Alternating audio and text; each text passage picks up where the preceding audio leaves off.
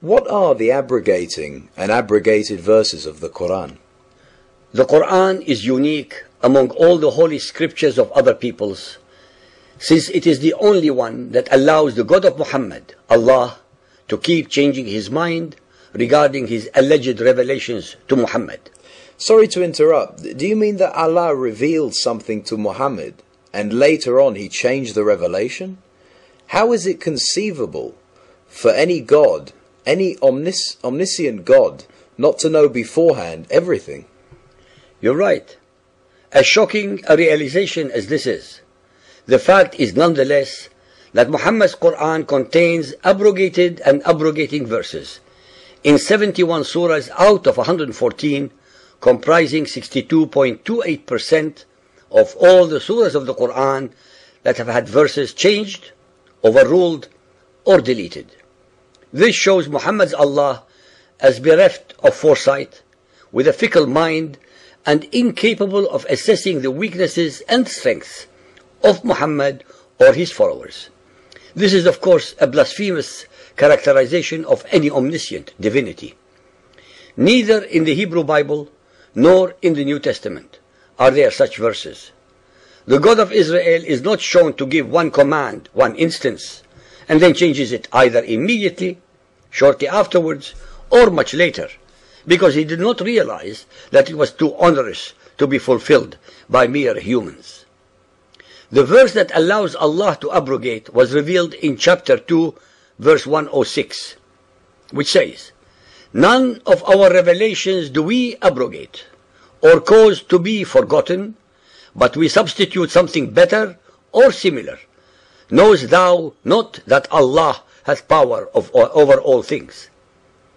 Why would any omniscient God not know beforehand the weaknesses or strengths of his creation?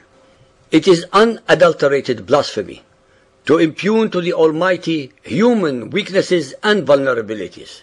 Why would any Almighty God change his mind and replace earlier ordinances with others? Why would such a God especially replace earlier ones with similar ones? Why similar? Why not reveal the better ones from the very beginning? The reader is entitled to ask such questions that require intelligent and logical answers. Can any Muhammadan Muslim provide any logical answers? Chapter 4, verse 82. Do they not ponder over the Quran? Had it been the word of any other but Allah, they would surely have found a good deal of variation in it. Such discrepancy and incongruity, those who check and scrutinize it will know it. The Quran is challenging the reader's intellect. The answers to the challenge are incredibly provided by the Quran and Hadiths themselves, which are an enormous deal of variations is exactly what is found in the Quranic verses. There is also, of course, the issue of the satanic verses, which were repeated by Muhammad who did not recognize them as coming from Satan. It is as if by divine justice that the Quranic challenge has been met and our case against the veracity and alleged divine origin of the Quran is rested. Chapter 13, 38. Ar-Rahman abrogates, blots out, or confirms whatever he wants. Chapter 16, 101. And when we exchange a verse in place of another verse, and Allah knows very well what He is sending down. The reader should be aware of the incredibly unusual transition in the verse above. From we exchange to and Allah knows. Why and how could Allah speak in the first person, we, at the beginning of the verse, and then moving immediately and without any logical or grammatical reason to the impersonal and Allah in the second part of the same verse?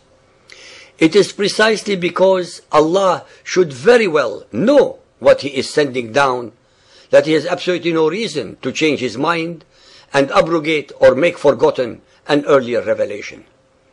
Even the illiterate and unlearned Arabs of Mecca found it intellectually and theologically fraudulent to believe in such a fickle, indecisive, and fallible Allah. Since the Quran and its interpreters repeatedly mentioned the, the inviolability and eternal character of Allah's rules and regulations, how can they at the same time explain away the most controversial cases of the abrogated and abrogated surahs, which number 71, that is 62.28% of the Quran.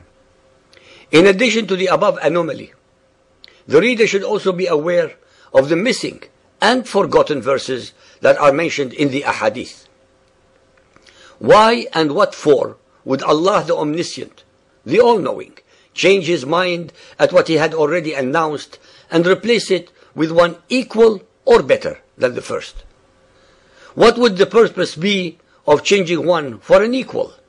Why change it if it is only for an equal?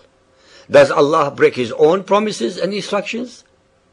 Does Allah hence have more than one preserved tablet in heaven? If so, which one of them is the correct one? It all sounds more than just blasphemy and mumbo jumbo.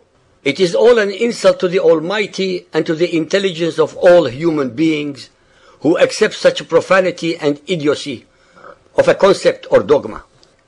All the abnormalities, ambiguities, stupidities, and contradictions in the Quran are instantly and summarily resolved when the listeners absorb and accept the simple and unchallengeable following conclusions. That there is not a single letter, let alone a word, a verse or a chapter in the Quran that could have been revealed by any omniscient, merciful, or compassionate divinity. Because in reality, every letter, word, verse, and chapter in the Quran is the product of Muhammad's imagination, his own personal alter ego, cleverly projected into the unsuspecting mouth of Allah, the supreme pagan rock god of Mecca, embedded into the corner wall of the Kaaba called the Black Stone. Allah, Gabriel, and Muhammad are one and the same. Muhammad used Allah and Gabriel as props to give his alleged revelations a cloak of sanctity and divinity. But in reality, it is all otherwise satanic and totally Muhammad's. Those who doubt what is being revealed here can read much more on our website, as well as when they read the following books written by the followers of Muhammad, such as Al-Suyuti's الإتقان في علوم القرآن. جمال الدين الجوزي in his نواسخ القرآن. أبو جعفر النخاس الناسخ والمنسوخ.